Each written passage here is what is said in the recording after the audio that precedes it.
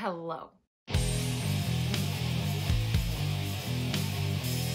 I always get so excited to sit down and film my wrap up videos for you guys that I never stop talking. So if you are new here today, what I tend to do is talk about everything I read in the month and I start with my least favorite book of the month and work my way up to my favorite book of the month. I will tell you guys that ranking them in that particular order was rather difficult this month. So let's talk first about some reading statistics for the month of June. Overall, I was really pleased with my reading month for the most part in June. I read some things that I felt just okay about, which led me to DNF some other things, but overall I did read a lot of things I really liked this month. I did read quite a bit. So in the month of June, I read a total of 10 books and two manga. Seven of these books were fantasy and three were sci-fi. Nine of the books were adult and one fell into the middle grade age range. Six of the books were completed through ebook or physical paperback and four of the books I listened to via audiobook. So when it comes to star rating,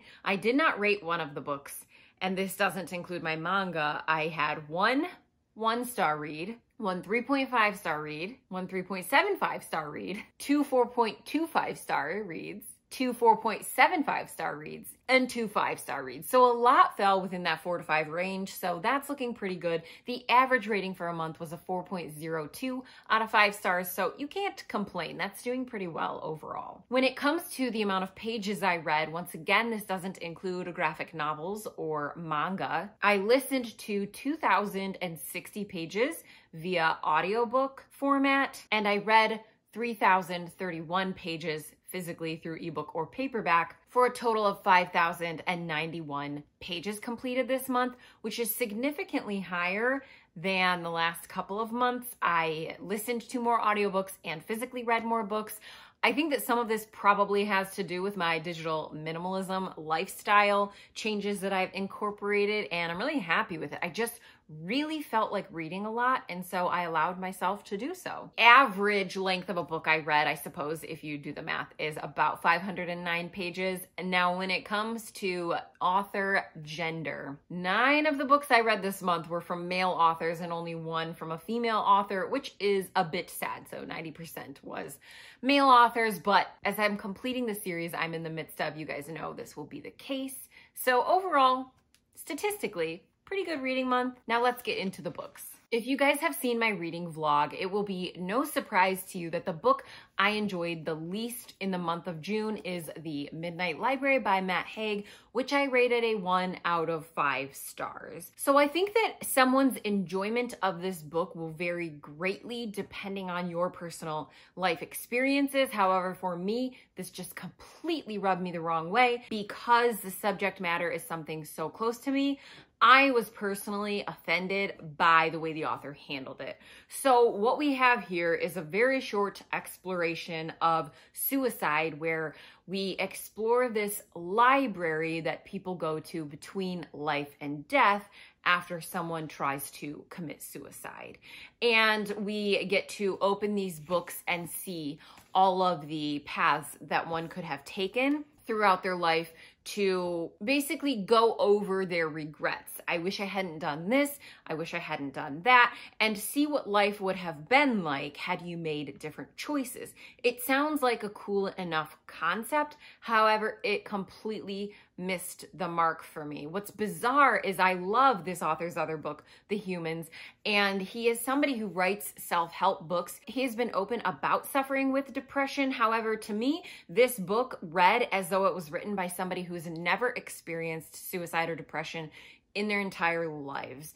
There's a couple reasons why I rated this a one out of five stars. So the first thing is that the main character did not whatsoever come across as somebody who was wanting to end their life.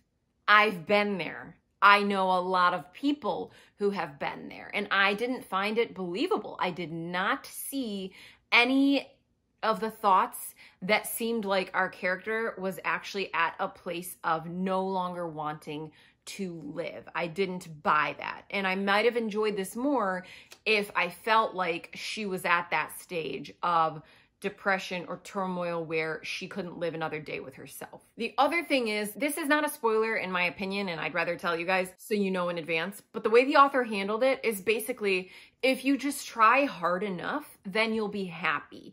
And while trying to be happy does significantly increase your chances of being happy, it's not a cure for suicide or depression by any means. And I feel like it was not handled properly. Where I'm saying, if I had read this when I was in the stage of wanting to end my life, I would have been like, well, I guess I'm just not trying hard enough. Another thing I'm failing at, I might as well not live add another reason to the list of something I'm failing at.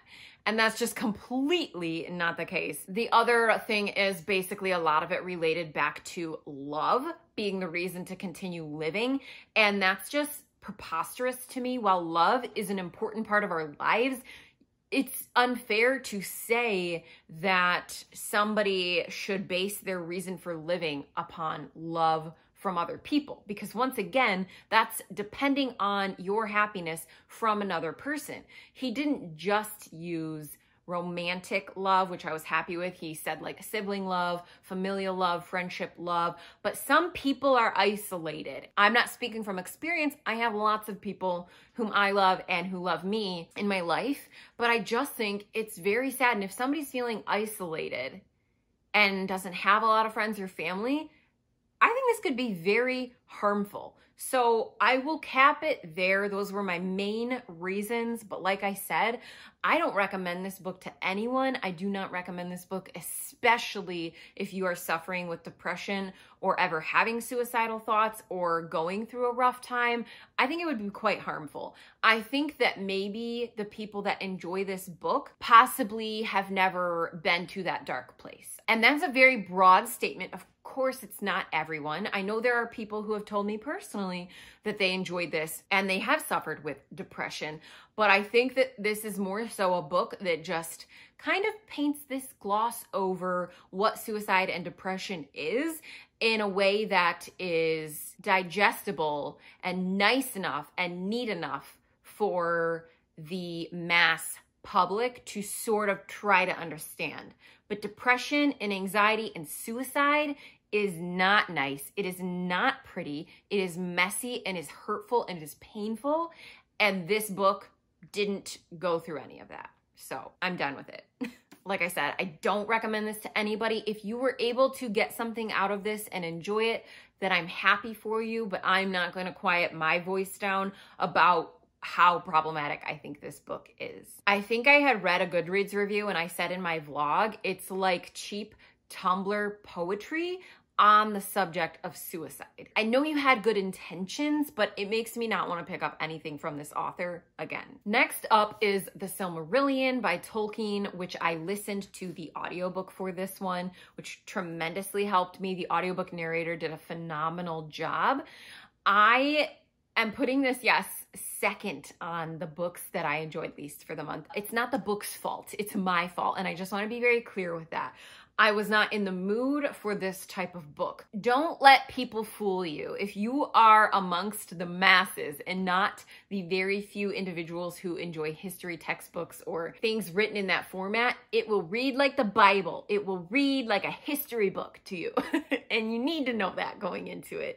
I know that I'm not the only one lots and lots of us have struggled through reading this. And I did finish it, but I'm not sure I even should have at the time being. It was very dense. It was a lot. But there's a couple things I do want to add to that. One, per usual, the prose is stunning. Okay, the way that it was written, the fairy tale esque writing style that he has is stunning and I would listen to it before bed oftentimes and it's just it feels like someone's reading you a fairy tale before bed. So the writing is beautiful and the ideas, the world building, the epic scale of how this world came to be, the rich history, it's brilliant.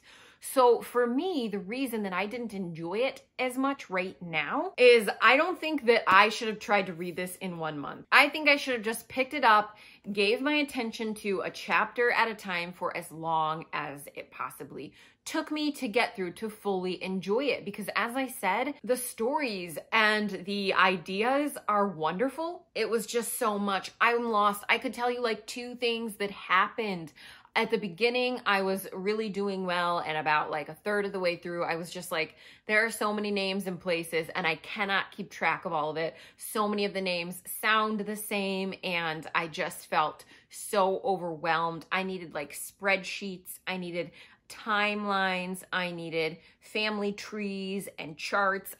I would have loved all of those supplemental things to help me get through this book. So that's why I'm not rating it. I did not rate it on Goodreads. I'm not rating it here because I don't think that's fair because as I said, I probably should have DNF'd it, set it aside until I was in the mood to go through something this dense rather than trying to make myself finish it. However, I'm glad that I've read it once, but it is something that I will absolutely return to in the future without a doubt. I'm excited to re-experience it, having known what I know now and just being able to take it slowly. And that's my best advice for you. Don't put any time limit on when you finish this.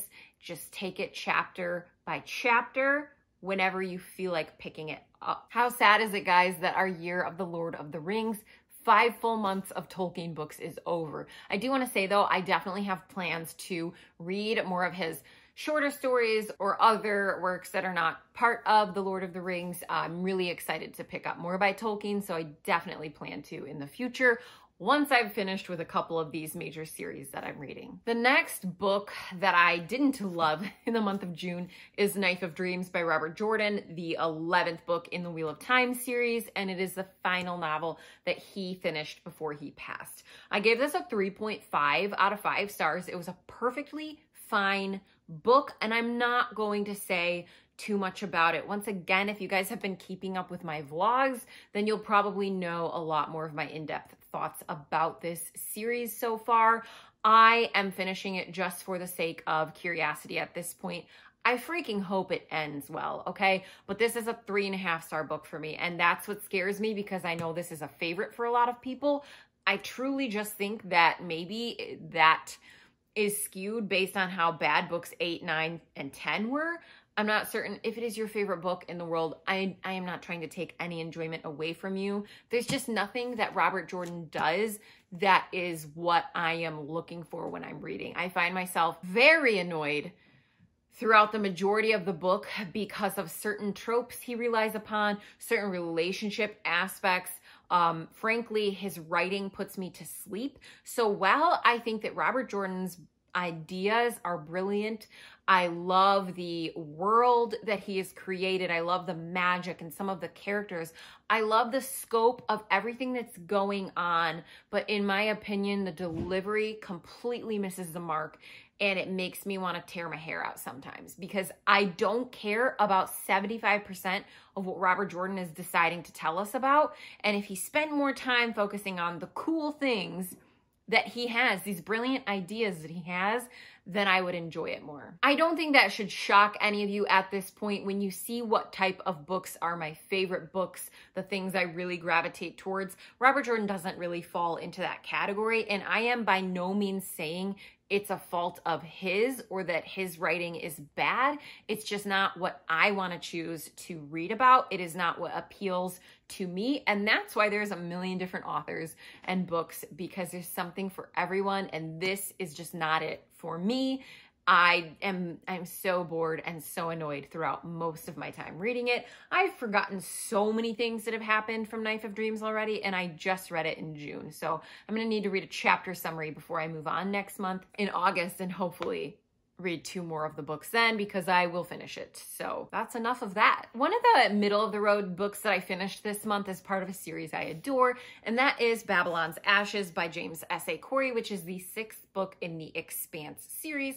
I gave this a 3.75 out of 5 stars. So it was still a great installment in this sci-fi space opera world, and I adore this series. The reason that I did end up lowering my rating is because the things that we focus on in this particular installment are not the things I love reading about, so my enjoyment decreased because of that. So the fifth book, Nemesis Games, appeals so much to me. It was my favorite in the whole series so far because it was so rich in character development, in following these characters' backstories and learning about their relationships while there were your typical sci-fi elements and a little bit of action. Now the difference is this is for my action lovers. So if you love action scenes and battle and fighting and preparing the ships and hearing about exactly how the ships will engage in these battle tactics, this is going to be for you, my friend. So it was very heavily focused upon that to the point where I found myself not carrying through a lot of those scenes. And that's, once again, not the book's fault. It's just not what I love to read about. So it wasn't my favorite installment. I did say in one of my vlogs, I did start the TV show for this, just barely got into it. I'm really looking forward to watching more, but I cannot wait to continue on with this series the characters are so strong in this sci-fi setting is what really really makes me drawn to this because we get that perfect mixture most times. And I think there's a good variety within the book series as well. There's something for everyone, and there are installments that focus more on different types of the plot or characters or battle and action, things like that, to where there's variety and it doesn't feel the same and monotonous throughout the whole time. So, like I said, it really was a me problem, not the book problem, but I definitely still enjoyed my time reading it. And I'm very much looking forward to Persepolis Rising as soon as I can get to it because I'm dying to know what happens next. One of the next books that I absolutely adored this month, I actually rated a five out of five stars. So it's weird that it's in the middle, but that is When You Trap a Tiger by Tay Keller. And this is a middle grade fantasy novel. I'm just noticing it looks like it says John Newbery Medal for the most distinguished contribution to American literature for children. It should win an award. This is a fantasy based on Korean mythology where we have some smaller magical elements that are fun. Our main character and her sister and her mother are on the way to go meet and live with their Helmani. I'm also probably saying that wrong, so I apologize if I am, but their grandmother to live with her. And so they have to uproot their lives and move from, I think, California to Washington. It's really a book focusing on these familial relationships, watching this main character and how she interacts with her sister, the relationship developments there with her mother and with her grandmother, and how they work as a family. So it is exploring some magical elements because they think their grandmother is a little bit off because she always talks about these magical things and they just kind of roll her their eyes at her and laugh. But then our main character sees this tiger in the middle of the road on the trip to go see their grandmother. So she's wondering, can I see magic too? What's happening? I need to talk to my grandmother about this and figure it out. But really, the heart of the story is the relationships between these four ladies in the family. This is a very deep and heavy middle grade story. It's very emotional, very touching and impactful, way more so than I expected it to be. Like, it was pretty hard hitting because we are dealing with things like dementia and death. I think it's a very important story for middle grade age children. So, if you have a child in that age range or you're like me and you love middle grade, then I really recommend picking this up because it was such a heartwarming, beautiful story that was, I wouldn't say fun to read. It's not a happy go lucky middle grade story, but there were laughable and funny moments mixed within these important themes. So I gave this a five out of five stars. I very much recommend it if you're looking for a new middle grade. The next one that I read and loved is The Girl and the Mountain by Mark Lawrence. This is a sequel to The Girl and the Stars that I read last year, and this is the prequel trilogy to his Book of the Ancestor trilogy, beginning with Red Sister. I'll talk about that book in another video because I started rereading it in June.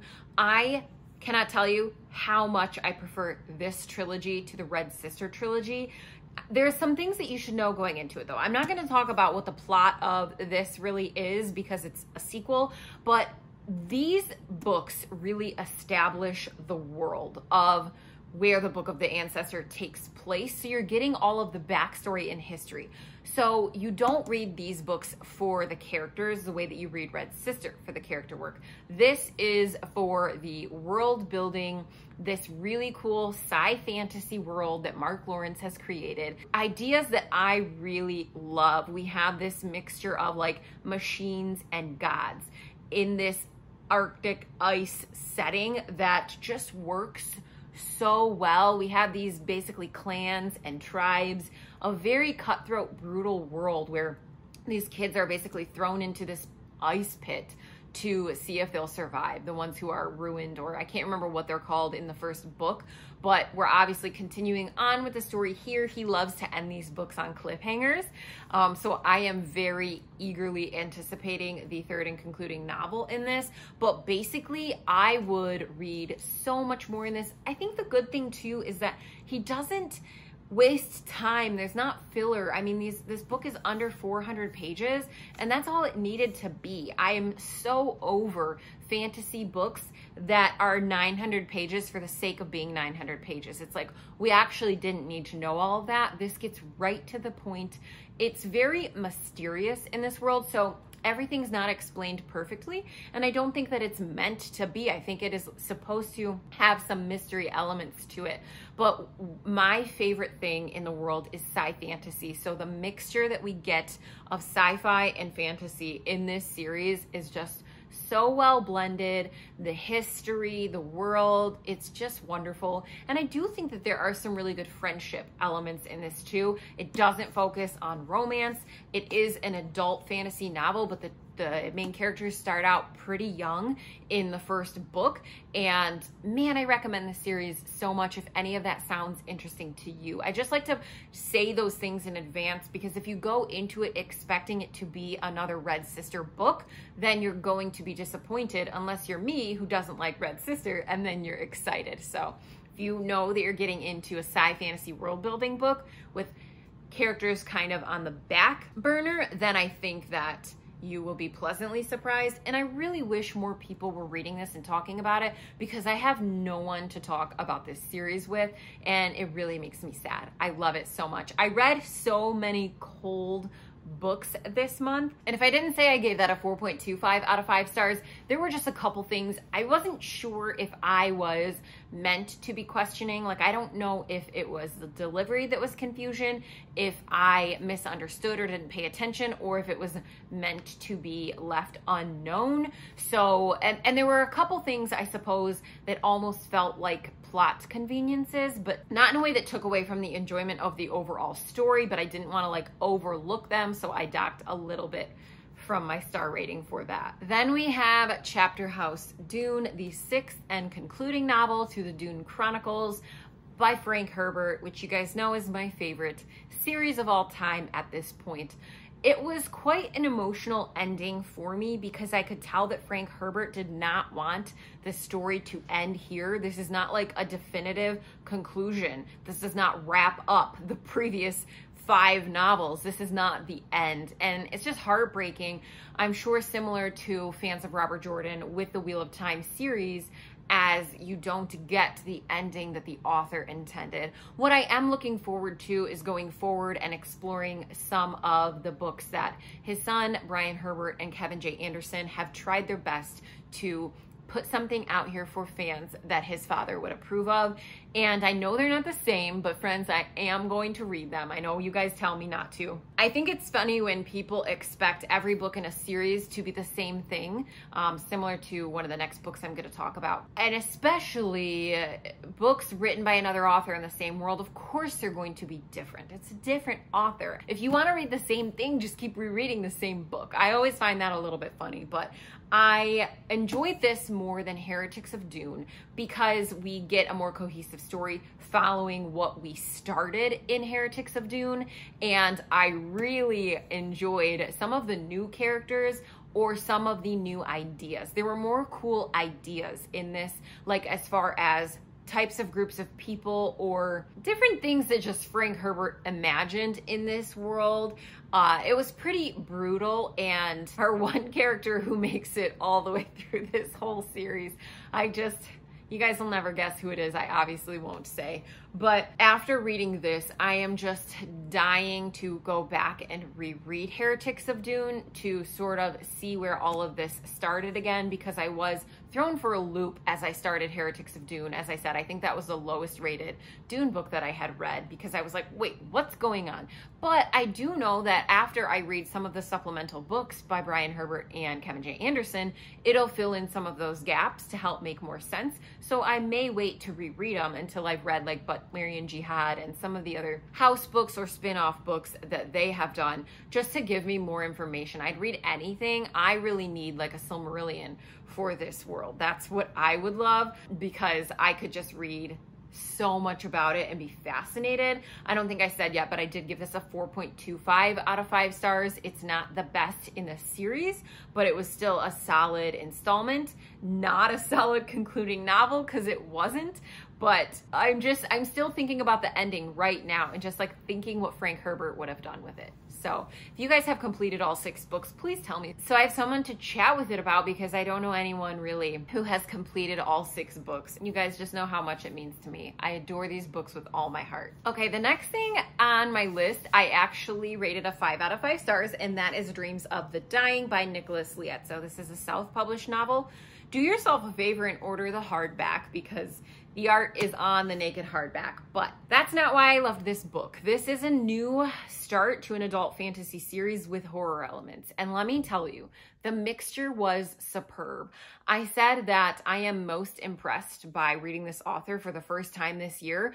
I was blown away by this author's world building. So I'm not somebody who's able to really picture things when I'm reading. For whatever reason, I was able to see exactly where we were at the whole time. He created this extremely rich culture that felt so established and real, like real language and the different types of people and factions within this land, it just felt like something that was already part of our world, but he created all of it. So the world building was excellent. I loved the writing. I think that the plot was very interesting to me. I had never read anything anything like this before and I'm not really going to give you any details. Actually, I'm wondering what it says on the back because I, at this point, I can't remember like what is spoilery or not. I will read you this, I guess. I think that that does a really great job describing what this book is about because it really focuses on a couple things. One is this empire crumbling and the discussion of classism is huge. People trying to get to the top by any means necessary, stepping on people, killing people, betraying people, all to create some kind of power. And we take a look at what emotionally that might do to people who have finally gotten to the top. We also take a look at the people who might not have had a lot and can't get out of poverty. So we are dealing with major social issues in a way that a fantasy story really hasn't done, in my opinion, in a unique way that was very impactful and very thought provoking. This was a book that stuck with you, lingered in your mind, made you relate it to our world, and I think all of us agreed on that. The social issues were extremely prevalent in this book. The other thing is evaluating your mind. If your mind is the enemy, where do you run? We have a main character who deals with depression, deals with trauma, engages in a lot of self sabotaging behavior. There are several mentions of suicide throughout this book. So it's definitely a dark story as far as evaluating one's mental health. And I think that this author really wasn't afraid to take it to that next level. And I know that there are some people I read this with that didn't love our main character, but guess what? Like that is what people in this frame of mind can do at times. And I love authors that don't gloss over or try to make the protagonist likable by changing decisions. Sometimes people suck because they have been hurt. And this book sort of explores that at times. We have a character battling through that, and I think that it was done wonderfully. There were so many quotable lines in this book. There were discussions of nihilism and the meaning of life and if we control our own decisions. There were just so many things that I was able to sit and think about, discussions I wanted to have based on this.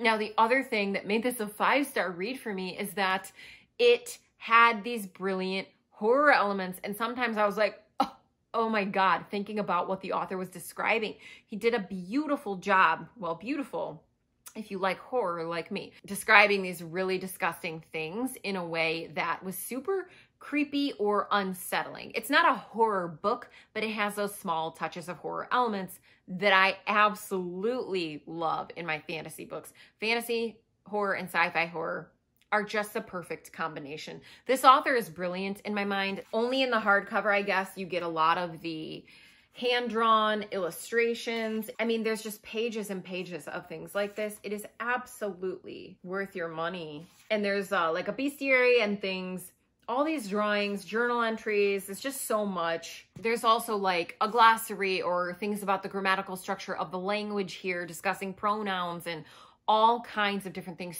So much thought and attention to detail went into this book. There was nothing I didn't like about it. This is the first book I finished in the month of June. So sitting here at the very end of June filming this, none of the impact has worn off. And that's not the case sometimes with books that I read that I immediately feel drawn to. The impact lasted and there's nothing I could say that I wish was different or would have been done better I think it was a phenomenal start to a fantasy series.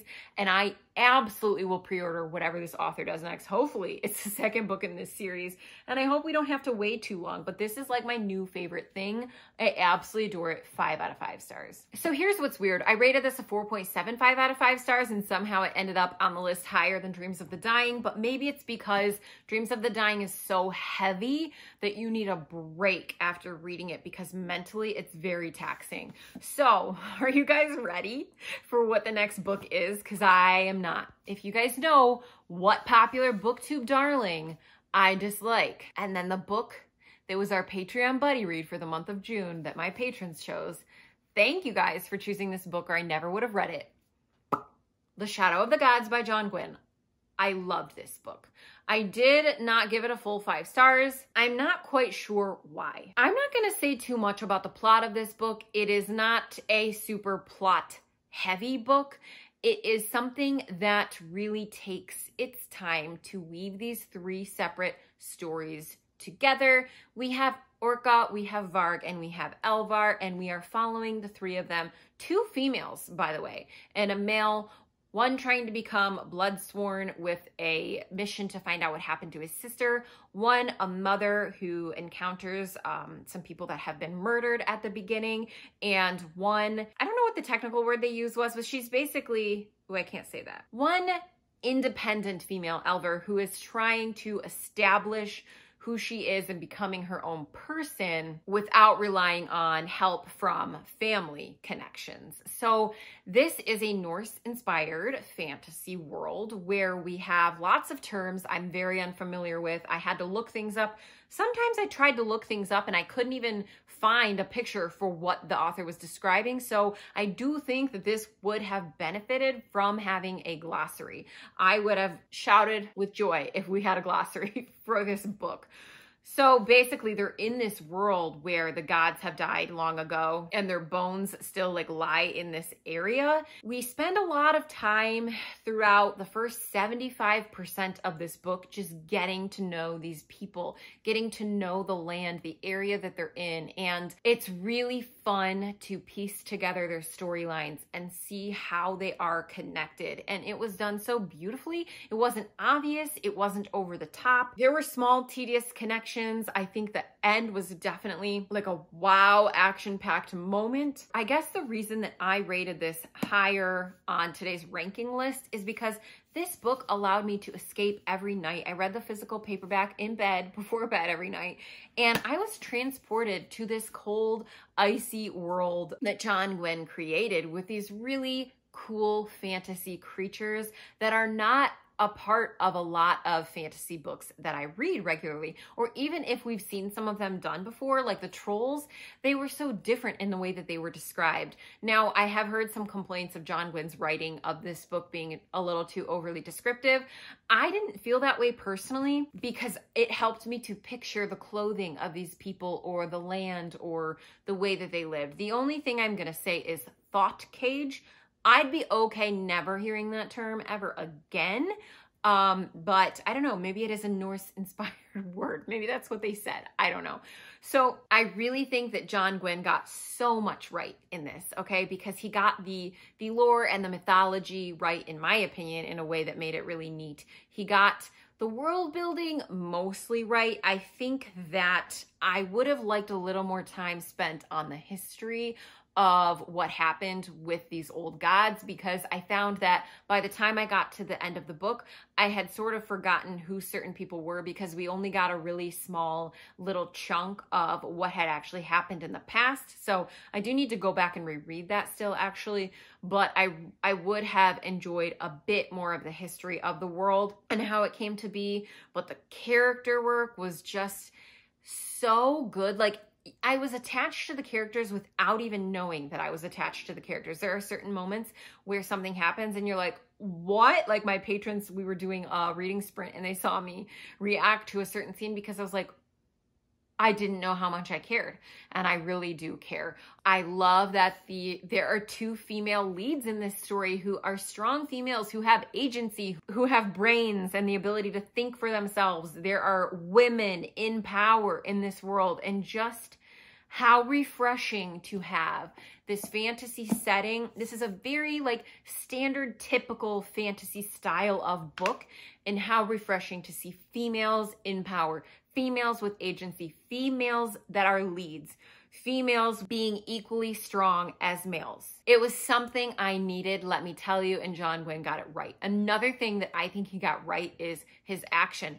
And I've sort of been that devil's advocate. Anytime people talk about John Gwynne's action being the best, I'm like, is it really though? Or have you just heard other people say that? Because I personally don't like malice. In this book, no. Like, here I am eating my words. You all can be like, I told you so, Britt. And I'm like, you know what? You did. And you're right. And I'm glad that I took a chance and picked this up because the action scenes were so good. And what I mean by that is I was able to picture the action and the battles that never happens. It is a sign of good action scenes when I don't glaze over and I can actually see what's happening. I do think the reason that his battle scenes or fights appealed to me is because they're kind of gory, not over the top, but he'll just straight up say how it is bluntly about somebody's head coming off or their intestines spilling out, about the blood gushing out their neck. It's not too flowery and descriptive and convoluted. It's just like, oh, okay, yeah, I cut their stomach and their intestines spilled out. Like it just says what it is, even if it's gory and it makes me be like, oh, Interesting. Okay. There were also a lot of other visuals in this book that like borderlined on being horror elements that I liked. There were certain scenes that even gave me like a Game of Thrones TV show vibes of being in the north with the winter setting. So I don't know. I just, I really, really, really, really liked my time. I am happy to say that I don't think this book is overhyped. I, I truly don't. And I was really worried going into it. I went into it with a completely open mind, just letting the book speak to me, let John Gwynne tell me his tale. I really, truly think that this deserves every ounce of the hype that it's getting. Because like I said, I may have just said that Dreams of the Dying was my favorite start to a fantasy series this year, but that's a completely different type of fantasy story. And it's something that I can only take in little chunks because of how much it emotionally impacts me. This is like my perfect standard fantasy escapism. I want to read about some cool things happening and go to this world. It will be the one that I think I am most anticipating the sequel coming out to because I really feel like I can count on him to create a quality sequel. Also, we have lots of questions still I won't say more than that, but especially by what happened at the end, the epic scenes at the end here, I need to know where we're going. Like, John Gwynne, what's in your mind? Because this is a lot of setup. This is a lot of establishment of these people and their backstories and the world that they live in. And I think things are going to kind of explode a bit in the next book based on what happened in the end here. So this was more of a quiet story with some gory action scenes establishing the the world that we're about to get in the next installment and I could just sing this book's praises for quite a while because that's how much I loved it. But what do you guys think of this? Okay, and then the last book that I read in the month of June and my favorite book of the month, even though I just gave that a five star, I just gave it a 4.75 and I really enjoyed it. It's because I'm biased and this series is just something I love so dearly. And that is Endymion by Dan Simmons, which I rated a 4.75 out of 5 stars because I didn't find it to be perfect, but my enjoyment level was the most out of everything I read this month. If you guys are sort of catching on to how I rate my books, hopefully. So this is the third book in Hyperion Cantos, which takes place approximately 250 years after the fall of Hyperion. So of course, we're not following the same cast of characters. I won't say, hmm, I think you'll be happy and pleasantly surprised by the characters that are in this, but we really have a tonal shift in this book. It is not your urgent horror filled book like the first two are. You don't have that on the edge of your seat feeling throughout the whole novel. There's a lot of quiet, slow paced moments of exploration. So I can't say anything about the plot without spoiling things from the first two.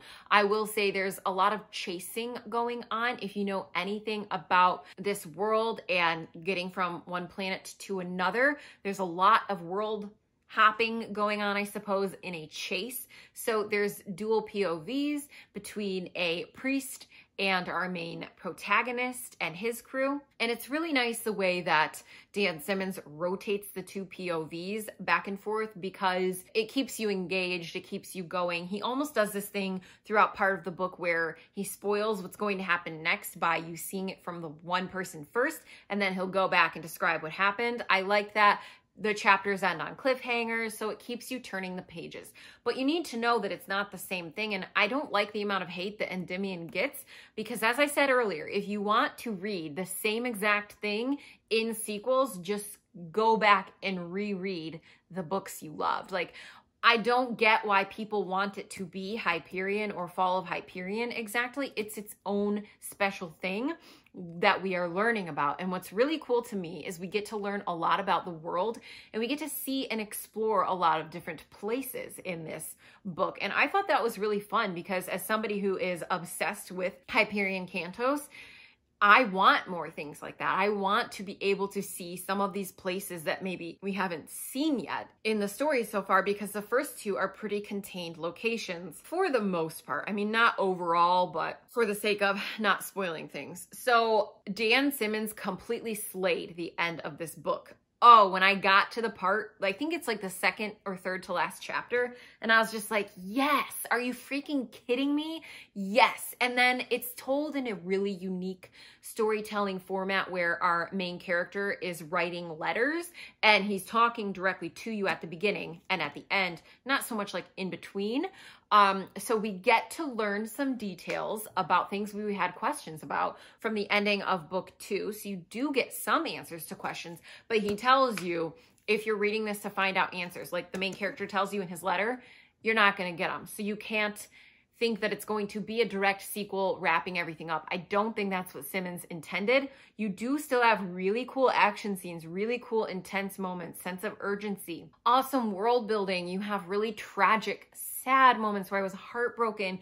You have a little budding romance that I didn't hate. And if I didn't hate it, that's saying something. You have friendships. Oh, it's just, it's so beautifully done, well crafted. I'm probably biased because of my love for Hyperion Cantos in general. Like I said, it's not a five star book because of the pacing issues. There were some times that some of the chapters really got longer and it was just too much description of things I didn't care about, maybe like things that didn't overall impact the story that I think might have been able to be edited out.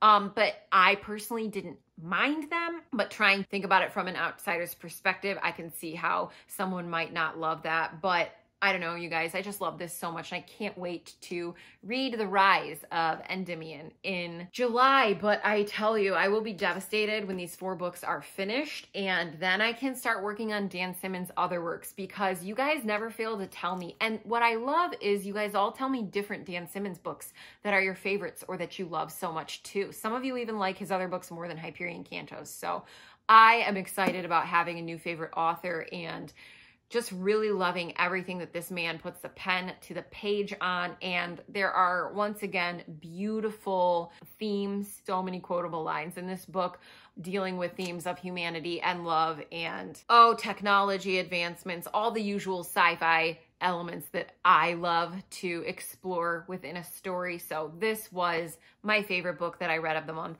even though truthfully, Endymion by Dan Simmons, The Shadow of the Gods by John Gwynne, and Dreams of the Dying by Nicholas Liezzo. They're basically all on the same level to me. I enjoyed all of them almost exactly the same. They're almost all five-star reads. So brilliantly done. These three books alone make me feel like I had the best reading month. If you can't tell, I get really super excited about what I read and I had a fabulous time. And trying to choose one between those three of my favorite of the month is just so, so hard. But like I said, I am most impressed with those starts to fantasy series and this third book in the sci-fi series that I'm reading. Okay, so let's just briefly talk about the two manga that I read this month. For the read along on Billy Bonsai's channel, I completed volume one of Berserk and I liked it. The character and his little companion that we meet in this novel are what's keeping me going. So it's pretty dark. There's a lot of bloodshed, a lot of graphic things that happen, and that's not what I was loving about this. And I think sometimes people get mixed up um, with what I see mean when I say I like dark fantasy. It's more so the aspects of mental health, like within Dreams of the Dying, rather than just like slaughter, like Prince of Thorns Jorg. So I can tell that we're going to get some more information about what has happened in the past with our main character Guts. And I'm really excited to see where that goes because within reading this first volume, I was not able to fully get a grasp on what is going to happen and where we're going, but I'm intrigued, I'm interested. So in July, I'll be reading the next couple installments in this, and I know that some of you guys have been wanting me to read this for so long now, so it's finally time that I've picked it up, and I'm really glad that I did so. I think I gave it a four out of five stars. And then I have My Hero Academia Volume 2, which I am enjoying reading the manga more than I was watching the anime. I've said so many times on my channel that I have auditory sensory issues that don't allow me to sometimes watch anime because of the sounds. So I'm able to experience the story in a different format that works a little bit better for me. I'm also able to keep track of things a bit more easily reading the manga than I was throughout the TV show too. And I think it's because you can really pay attention to everything that's being said or who's saying it or what certain character names are because sometimes it goes so fast in the anime that I either forget or things are a little bit unclear. So I know I have so many to work my way through, but I'm really glad that I'm reading these and I can't wait to continue on with the My Hero Academia manga and finish the story out that way. I'm not sure I will complete the anime just for the reasons I said before, but I'm loving the manga. My throat hurts. We've made it through June wrap up. I know this is really long, but there's timestamps that you guys can use per usual. So let's talk about what I read in the month of June. If you guys want to chat with me in the comments about what I had to say about some of these books, especially if you read any of the last three that were my favorite ones. Also, what was your favorite thing that you read in the month of June? Your favorite and least favorite, maybe, whatever you guys want to tell me about your reading month in June. I would love to hear. Did you have a good reading month overall? I certainly hope so. But thank you guys for watching, and I will see you next time.